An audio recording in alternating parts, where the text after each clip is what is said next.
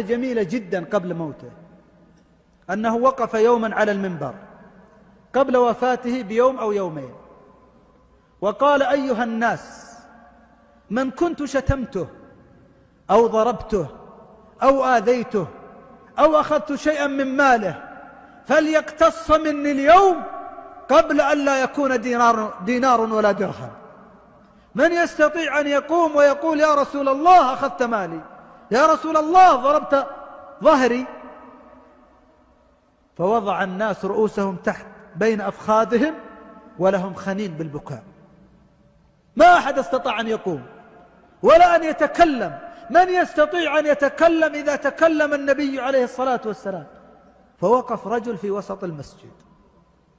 فقال أنا يا رسول الله ما دام أنك طلبت القصاص فأنا أريد أن أقتص منك اليوم.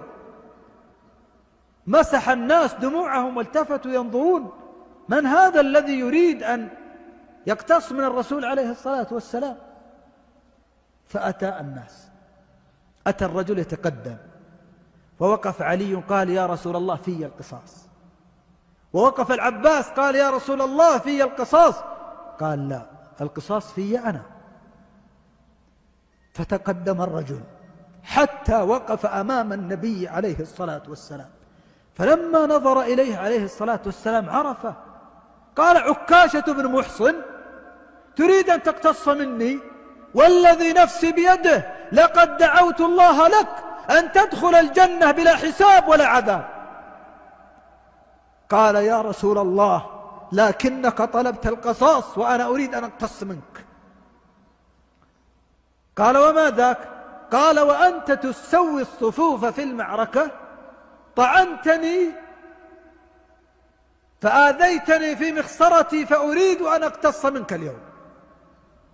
فأرسل للعصا التي كان يسوي بها الصفوف فجيء بها. وصعد عكاشة على المنبر بجانب النبي صلى الله عليه وسلم. وكشف الحبيب صلى الله عليه وسلم بأبي هو وأمي عن مخصرته ورفع عكاشة العصا أمام الناس. ينتظرون متى يضرب بها الرسول عليه الصلاة والسلام. وعكاش يهز العصا. هزها مرة وهزها ثانية وهزها ثالثة حتى رآها الناس ثم ألقاها خلف ظهره ثم وضع شفتيه في مخصرة النبي عليه الصلاة والسلام وأخذ يجهش بالبكاء وهو يقول فداك أبي وأمي ونفسي يا رسول الله. لما فعلت هذا يا عكاشة؟ قال من يقتص منك؟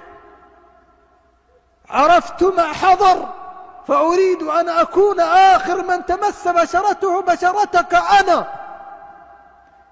فازداد الناس بكاء وفاز بها عكاشة كما فاز بالبشارة الأولى.